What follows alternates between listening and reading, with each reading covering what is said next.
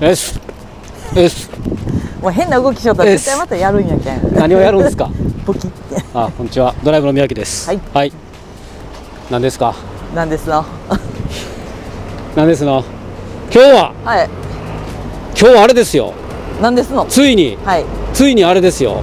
待望の。うん。は多分宮城だけだと思いますけど。い。待望の。EQXM3 の、うん。えー GT4 プログラムはい。ついにできたぜ。イエイ。っイエイ。ていうことで。はい。まずは。まずは前オーナーのうん。天国の篠原君へちょっと。お空を。ご報告しようか、できたよ。篠原君ついにできたよ。はい。はい。ということで。はい。ということでですね。うまずは。んまずは。まずはこの車についてちょっとおさらいしましょうか。おさらいしましょう。はい。はいね先ほど冒頭でもお伝えしたようにうん。もともとのオーナーは、はい。まあ、篠原君っていううちの常連のお客様の車でして、はい。若かったんですけどね。そうですね。不運なことにね、はい。ちょっとちょっとこの世にから消えてしまって、はい。ということで、うまあ親御さんの方からね、まあ、どうにかということで、まああのー僕が宮城が引き継がせていただくということで、はい。はい、現在至っておりますと。はい。っていうところですね。はい。えーまずは外観からいきましょうか。はい。まあフロントバンパーはね、はい。まあアーキムっていうまあもう今はないんですけど、今はなき。今はなきこれも今はなきの、はい。まあカーボンのフロントバンパうん。ーに、えーカーボンの、えーストンピアングのね、はい。はい、リップ。ででこのボンネット。うん。うんこちらも今はなきアーキムです。はい。はい。超レアなんですよ。レアレアなんですよ。レアレアですはい。ね、カーボンカーボンでね。はい。はい、で、まあ、ちょっと変わったことをしたがる宮城なので、はい、マークレスにしてますね、BMW のね。うそしてなんかここに小窓が追加されましたね。んにゃニャーがね、見えますね。はい。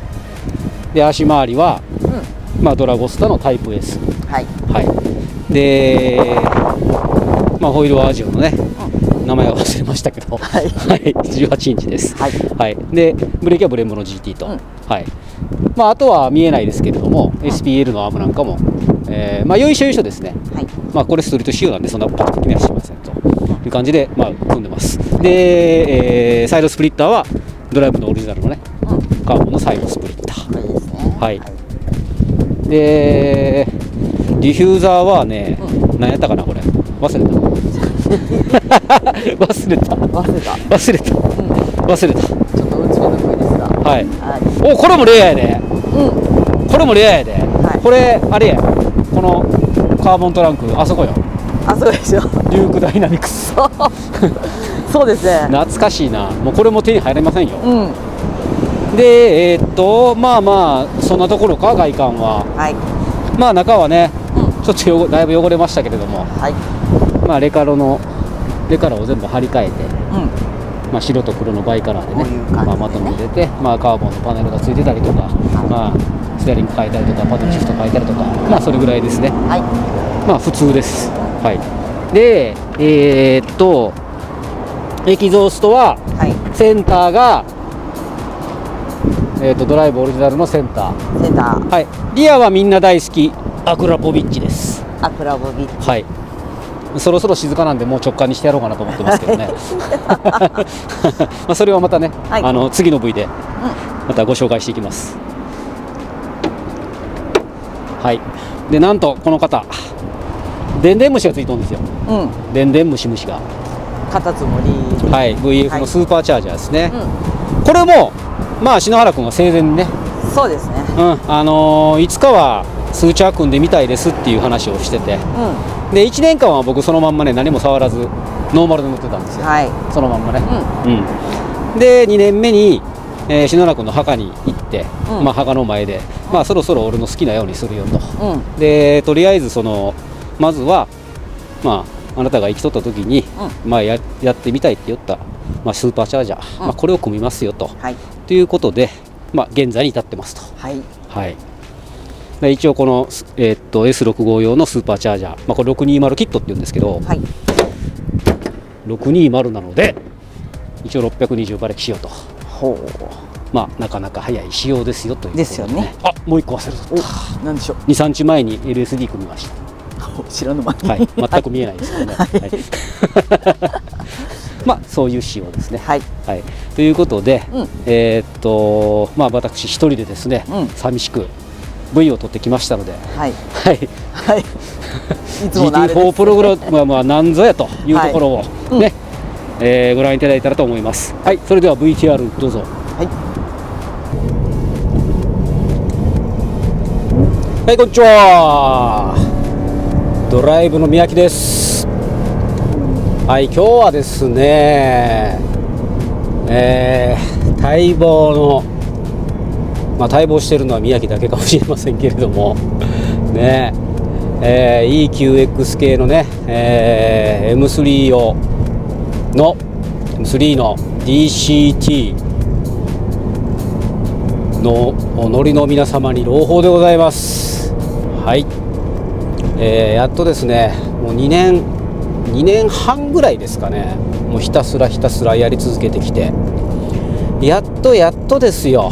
やっとですね、えー GT4 プログラム。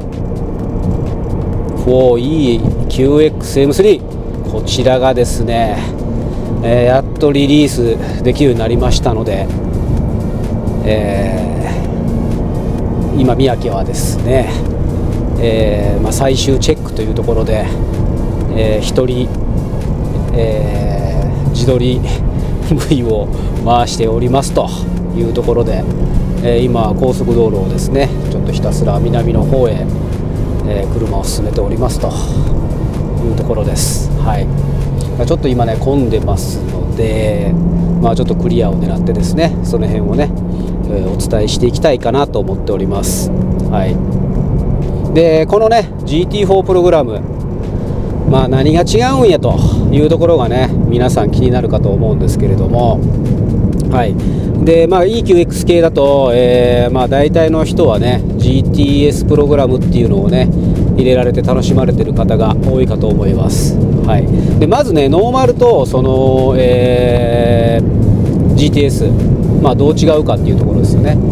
まあ、ここはですね、えーまず、えー変速スピード、まあ、シフトアップが、えーかなり違いますね、まあ、あと大きく違うのはめちゃくちゃバックに入るのが速くなります、はい、あとノーマルはですね、えーっとまあ、ブリッピングですね。要はシフトダウンした時がめちゃくちゃ遅くてあのーすごくストレスを感じるんですけれども、まあ、これ GTS にするとそこもまあ速くなってブリッピングも賢くなるとっていうところですね。でえ肝心な GT4 プログラム。こちらはですねもうシフトアップダウンもうここが劇的に向上します。めっちゃ速くなります。スーパー稲妻シフトですね。これ今聞こえるかどうかわからないですけどすごくシフトアップも速くてダウンもねすごく速いんですよこれ。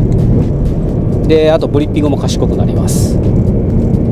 とプラス、えークラッチの圧着力ですね、まあ、こちらの方の、えプレッシャーを変更しています、はい、でなぜこれを、えー必要か、えー、と開発に至ったかという、まあ、経緯を話しますとですね、まあ、私の愛車 E90M3 なんですけれども、まあ、こちらはね、あのースーパーチャージャー組んだ車両になります。でこれがですね、あのーずっと悩まされていたのがあのあれなんですよ。おおおお分かります？このシュートアップの速さちょっと話がずれましたけれども。要はえーっとまあ6速6500とか7000とか7500でシュートアップした時に、えーこのスーパーチャージャーねずっとねあのクラッチが滑るっていう症状に悩まされ続けてたわけですよ。でそれもある程度の、えー DCT の温度、えーとか外気温、まあ、そこらでですねある程度の条件が揃うとそういう風になっちゃうっていうところで困ってたと。いうところで、えー開発し始めたのが、まあ、まあきっかけですよね。はい。で大体ねその DCT の温度でいくと、えー約90度ぐらい、まあ、そこまで上昇してくると、まあ、そういった症状が出ると。いうところでね、えーずっと悩まされ続けてきて、まあえっとまあ、途中ねあのモーティーズさんなんかにも協力していただいて、まあ、いろんな DCT フルードでなんとかならないかなというところで、えー、いろいろ、えー、テストを重ねたわけなんですけれども、えー、確かにねフルードで、えー、いい方向に、え、振っていくことはできたんですけれども、まあ、完全に解消っていうところには至らなくてですね、まあ、結局それでずっとあのえー、ロギングしながらそのデータを見ていくとやっぱりそのある程度のところで、えー、圧力がドロップする場面があると。でその時に、まあ、その症状が出ているっていうところが分かって、えー、じゃあそこをどうにかしようということで、え生まれたのが、まあ、GT4 プログラム、まあ、一番最初はね、え F8X 系の、まあ、M2、M3、M4 ですね、まあ、心当たりだったんですけれども。で基本的にはねその F 系の GT4 プログラムと似ています、はい、ただし、えー、EQX 系の M3 のみですね。あの DCT とかあのメガトロっていうのは同じものを使ってるんですけれども、まあ、メインのね DME 自体が、まあ、これ MSS60 って言って、まああのまあ、シーメンスっていうメーカーを使ってるわけですね。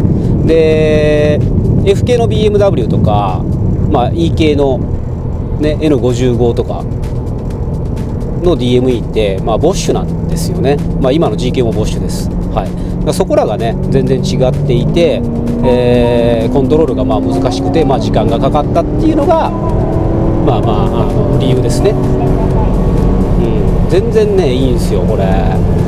ちょっと4速に落とそう、ね、まあ速いなこの車。おお前がいますね。聞こえますかねこのシフトアップダウンの速さ。ラグがないんですよね。このパドルでパチンパチンの時にバンバンですね。バンっていうね。このダイレクト感たまらないですね。そうなんですよね。だからえー、っとシフトワークが速いっていうことは、えー、クラッチを切ってる時間は短いんです短くなるんですよ。短くなるっていうことは、はい、クラッチの摩耗が、えー、遅くなると。ですね。ノーマルに比べるとね。滑りながらつながっていく湿式の DCT なので、え極力その時間のタイム時間を短くすることで、えクラッチの延命にもつながります。ということで、えーバンバンねこれからねインストールさせていただきたいと思っておりますのでぜひぜひお気軽にですねお問い合わせいただけたらと思います。はい。ということで、はい、まあ V は V をご覧になられたかと思いますが。はい、はい、うん。非常に楽しい車になりますよ。なりますね。ねえ、はい、ねえ。ファインファインファインファインファンファンファンファンファンってなりますからね。わかりやすいですね。わかりやすいでしょ。はい。いやまあ大変でしたよ本当。うん。あの手この手でね。はい。まあそうね。とはいえとはいえですよとはいえ同じものを FK も使ってるとはいえですよ、うん、とはいえ15年前のおじいちゃんですからね、うん。はい、なんなら僕の数値は13万キロですから。そうそんなになりました。もう13万キロですから。ははい、はい、13万キロのご老体にですね、うん、バンバンブーストかけてるっていうね、うん、うんうん、いつ母艦するんだろうと思いながらですね、はい、はい、乗りながらまあもうあれ10万キロぐらいの時にだから3万キロぐらい走ってますけれども、はい、はい、っていうところでね、えー、っとまああの走行 V でもお伝えした通り、まあ、シーメンスっていうバカなコンピューターをね、うん、この車だけに使った BMW が悪いんですけれども、はい。はい。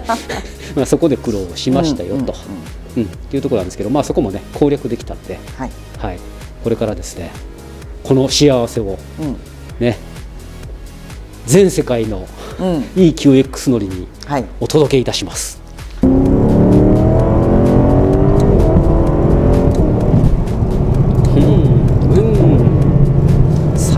やなこれな。この最高ですね。日本の E 級に QX 系のね、えっと DCT オーナーにお届けしたいと思います。なんだこれ ウェーイ。はい、ということで、えーまあ、今日の V はねそんな感じで、まあ、新製品、まあ、新サービスのご案内というところで、まあえー、と EQXM3 の GT4 プログラムということで、うん。はい、お気軽にですねじゃんじゃんねご依頼いただけたらと思います。はい。はい、ということでですねそうだな次の V はあれですね。うん。あれですね。何ですか？みんなが気になる。みんながだみんな大好きみんな気になる。うん。ね。基本みんな大好きですからねうん、そう、みん。なみんな大好き。みんな大好き、うん。F1 サウンドフェラーリサウンドってやつですね。お。一番皆さんまあリクエスト多いですよね、うん。そういうマフラーは作れないのかと。うん。ねいうことで。はい。作れない理由を僕が、僕なりに解釈解釈というかその、あれね僕なりに説明しながら、うん。まあ、今そういうプロジェクトもやっているというところで、はい。その辺をねお届けできたらと思いますので、はい。えー次回の V もですねぜひぜひね、あのー食い入るようにうん。見ていただいたらと思いますので。はい。い、はい、ということで、えー今日もこいつらアホやなとか面白かったねと思った方はぜひ高評価とチャンネル登録よろしくお願いいたします。お願いします。お願いします。です。あなたまで遠ざからなくていい、はい、はい、ということでまたの V でお会いしましょう。バイバイ。